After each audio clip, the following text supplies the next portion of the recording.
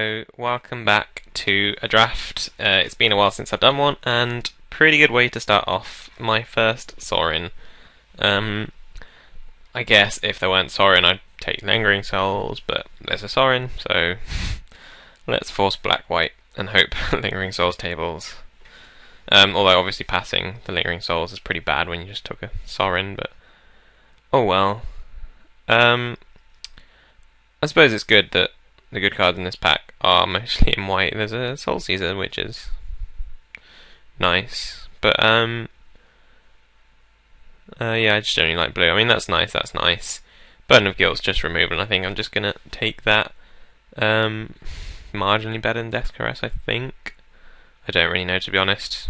Um, yeah, uh, I'm not going to take an off-color card, so I think I'm just going to basically force Sorin. It's not an ideal strategy I'd normally recommend, but sure, I'll go for it. And this guy taps on taps, yeah. Uh, no, just taps, but still. Um, I quite like this. Uh, I like tricksy things. I like being able to pass without tapping out. Hopefully, by passing this, we're kind of forcing the person to our left into blue because we just passed the Soul Seizer and the Sky as well. Um, is it a Sky? I can't remember what it is. It's a Nephalia thing. Sentinels of Glen Elendra, as it used to be called back in the day. Um, so yeah, I'm just going to keep forcing white really. Uh, I suppose it's worth noting there's zero black cards in this pack, so we might end up having to splash Sorin, in which case uh, I'm not sure what cards I'd be, but if I take, um, if I see a fixed land, I can't remember what it's called, Evolving Wilds, then I will probably take it. Oh, okay. That card's good, that card's good. Um, I guess I take the fourth pick Fires of Undeath, and like I could be black, uh, sorry, white, red, splash black, or I could just forget the sorry. No, wait, what combination? I could always forget the Fires of Undeath, but I guess I don't have to be black necessarily. I mean, both the black cards in this pack are awful, and there was no black in the last uh, pack. But then again, that obviously means going in the second pack, I can just take all the black cards. But for now, yeah, I'm just going to take the removal. Although green white is a pretty good strategy, um, I think I just prefer to have the removal to the creature. And here we have. Um, you might have noticed I've been reading some of the cards. I'm not too well versed with the format as of yet because I haven't had that much chance to play it. I know the first two packs now at least, but yeah. Um, but yeah, I think I'm just gonna take this guy actually because the good thing about black white, obviously taking the fires doesn't mean I'm necessarily in red. The good thing about black white is that you kind of are happy with the cards that other people don't want, like village cannibals and stuff. Like you can take all the crappy cards that people don't want because they're trying to force green white and take all the travel preps. Um, but yeah, I quite like this card, and there's not really much in the pack. So I prefer that to a Ripper. Oh, and there's the Evolving Wilds. Also a Drogskol Captain. But I'm already in enough colours, and I will play Evolving Wilds regardless of the deck, so yeah, I'm quite happy to pick that up. And well, more white goodies, which A tells me luckily white is the colour to be in, and B is annoying because I've been passing a lot of white already, so it's pretty much going to solidify whoever's to my left into white. Um, although I took this guy last time, I'm going to take this this time just for curve issues. I mean, I, I don't like too many four drops, and I've already got two. And with a high Wall, I'm kind of looking to be an aggro deck, I guess. So I'll just take three power, two, three power, three mana, two power flyer. And I don't have any vampires yet, but I could pick them up. I don't really know if I want this. Um, yeah, I suppose you can't have. Like, this card's not that good. I, I always find that you just don't get the vampires. Um, and even if you do, like, it's a 4 4 on turn 4, which is okay, but then doesn't attack until turn 5, and when you don't activate it's just a Grey Ogre. Whereas this guy, you just, I mean, even if you gain 2 life and get 1 1 off it, it's still fine. And let's just keep cutting white cards, I guess, rather than take a card I won't play. So yeah, I mean, I'm definitely in white at the moment. I'm actually still open to anything really. I could open a, a blue or a green bomb and just switch because I've just got five card white base and an evolving wilds.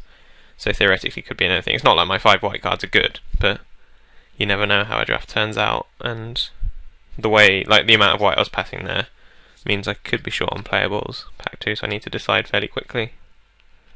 But then again, like I said, the fact that I didn't pass any black means hopefully I can just pick up all the black and then take white in the third pack again.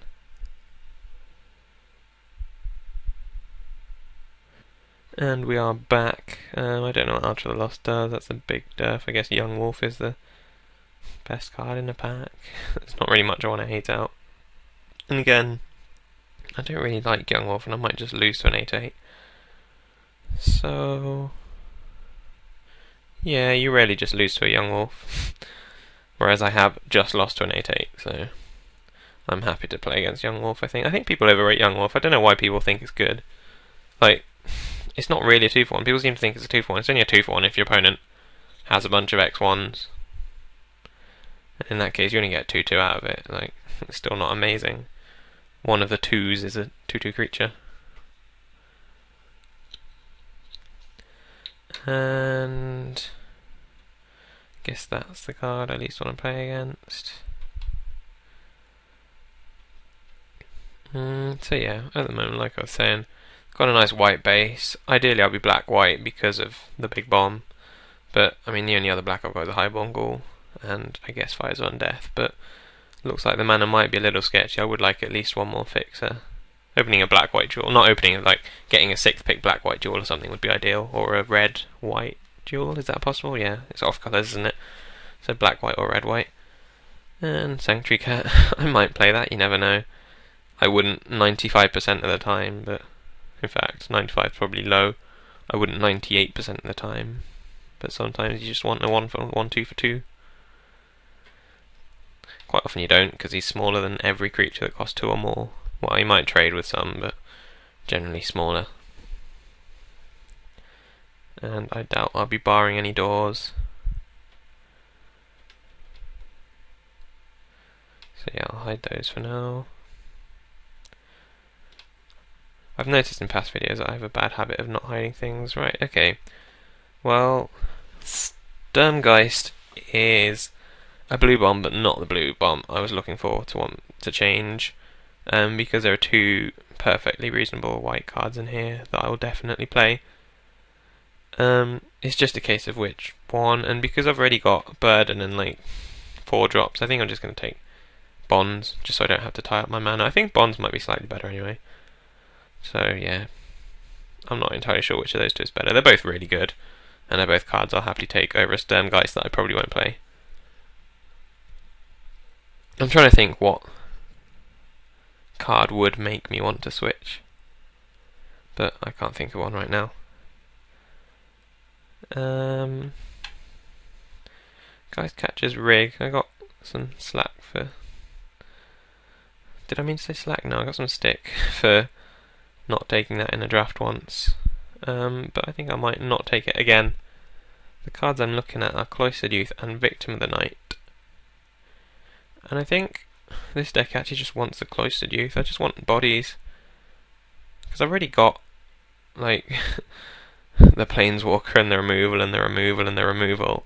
I think this isn't even that good removal. I look like I'm mainly white. And I'd rather just have a 2 drop. So, let's go with that and not a whole lot here. I might just take that Geistflame. I could end up being almost mono white, splash black, splash red. Forget about the Highborn Ghoul, forget about this gruesome deformity that I probably won't play anyway. And yeah, I do quite like Geistflame. I think it's better than one of these two, which I might play. So, like, well, I definitely would play Moment Heroism, but I'll get more chances to pick those up. Whereas Geistflame is quite a premium card. And there's a Geistcatcher's Rig. I think this time I'll take it, just because there's not much else in the pack. It's a shame to pass Gavony Township, but I'll get over it. So yeah, what do I want now? I guess I want.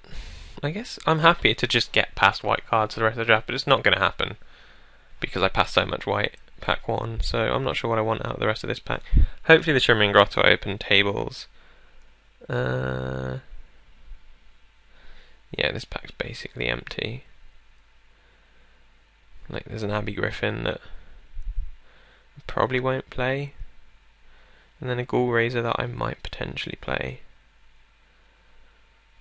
Even though I just said I don't really want to be black. But I might end up having to be black, so I'll go with it anyway. Just end up with a really awkward mana base.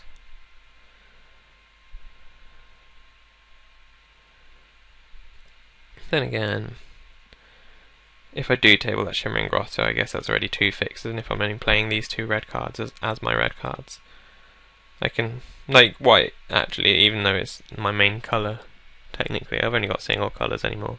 So I could have like 17 lands, two fixes, and then a 9-6 split or something like that. Um,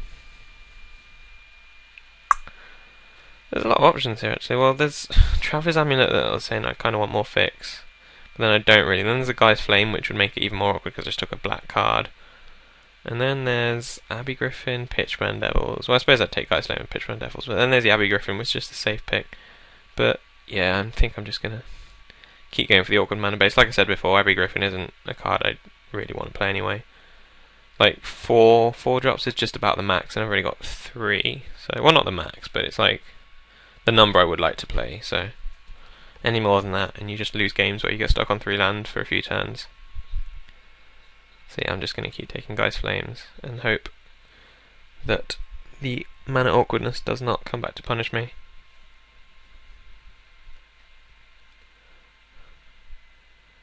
Yet more Abbey Griffins, and the Abbey Griffin will be happy to hear. I think this is finally his time to shine, because there's nothing else in the pack, except for Parallel Lives, which I'm unsurprisingly not going to play. So yeah, looking at the deck now, I still want two drops. um, probably not going to play these two. It looks like I am going to be the white splash red splash black deck. So I really just want two and three drops. I just want small creatures to fill out the curve. Um, even cheap removal would be fine. Not that there is any, but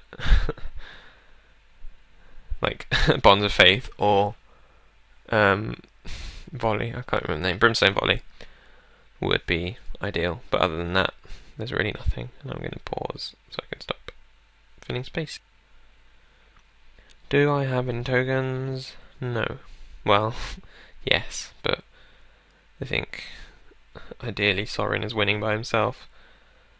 Um, do I have any creatures to sack? No. Do I want to Riot Devils? No. So I guess the one I'm most likely to play is Altar's Reap if I do get a bunch of creatures. Good with Elgaud Inquisitor and just about nothing else. Um, guess this is the most likely to get played off the bunch.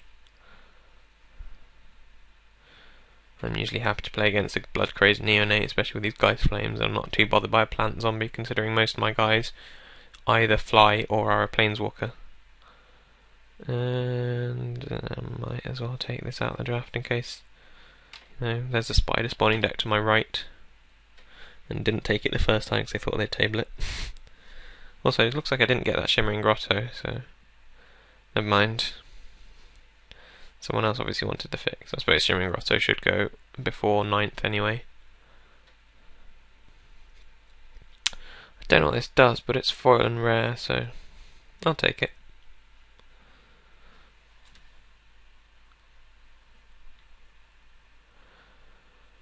Right, forgive the moment of silence as I read it. You could say stony silence. Way, um, yeah. Sorry. I think I should probably hide it, considering I won't play a main deck. I might board it in. My opponent's got four rune casters. No, rune charters. Is it chanters? I never remember. Rune chanters pikes. There we go. But um, for now, I think the stony silence can sit in silence in the sideboard. Oh, there's a wooden stake though. I guess I do want people to play that against me because I have my stony silence. So. Same goes for Cellar Door. So I'll take the land.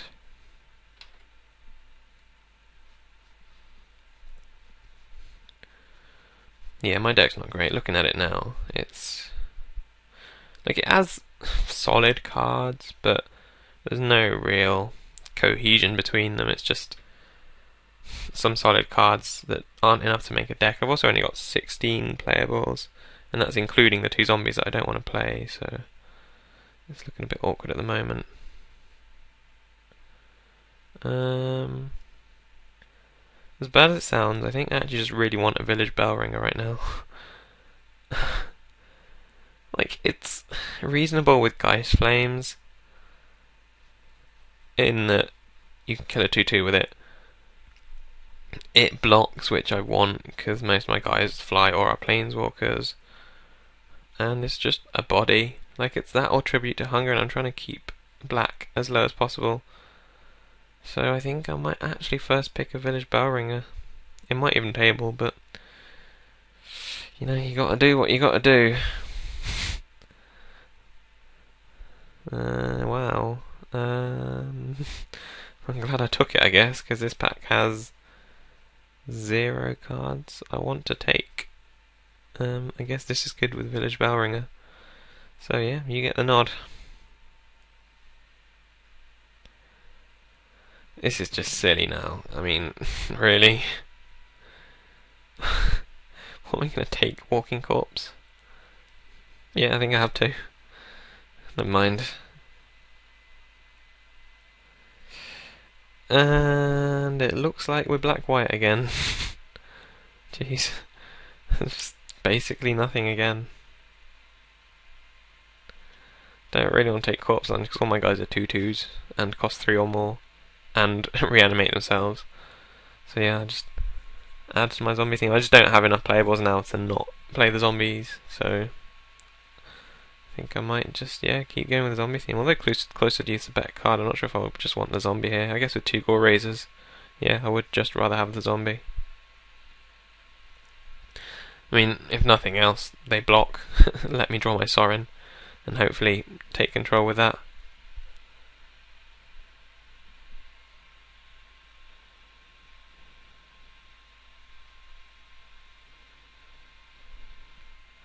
And I suppose Voiceless Spirit is a decent body, not a 2-2 for 2. So, yeah. I don't really have enough guys to make Moment of Heroism good. If I had...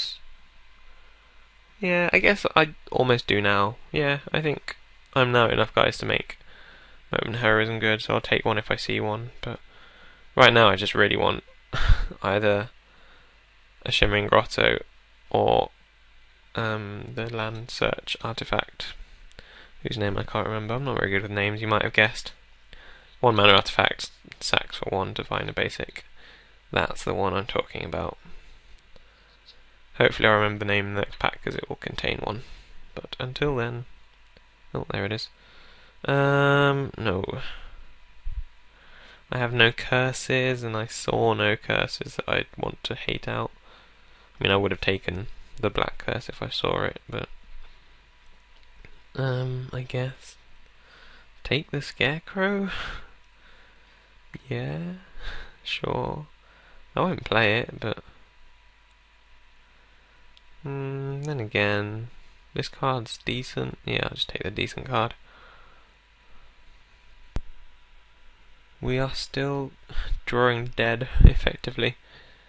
Um, I almost want to take that spider spawning, but I guess because I got that mulch and when I'm really late, then there must be no spider spawnings immediately to my left, so I might actually just take this, just because I need a playable still, and the way the rest of the packs have gone, I'm not sure I'll get one. Um, guess this is a card that's most likely to beat me.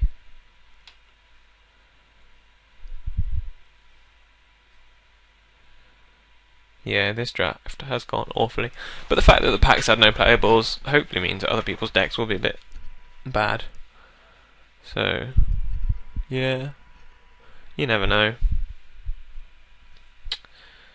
I mean, it's got enough cards for a deck that can theoretically win games. It's just that the mana's really awkward if I do play all these cards.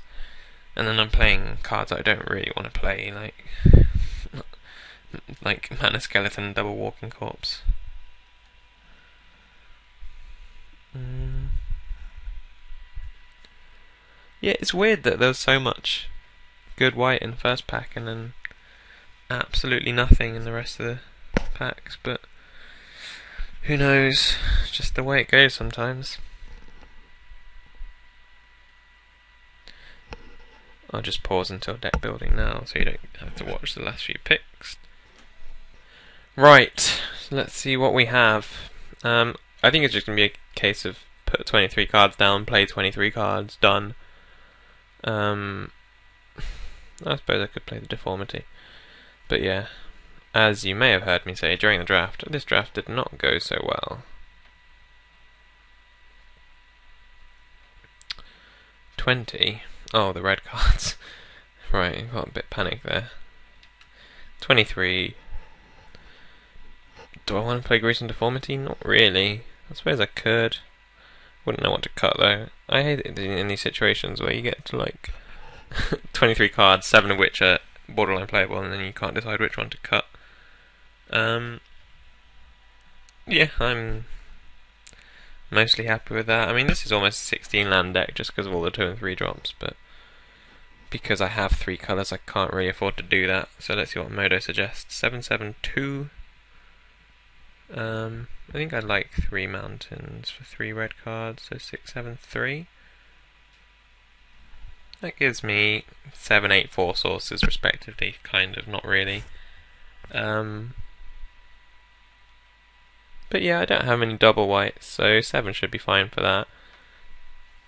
8 should also be fine. The only one I'd be worried about is red, but I wouldn't want to go below 7 or 8 for the other two. So, yeah. Done and submit and see you for the first round.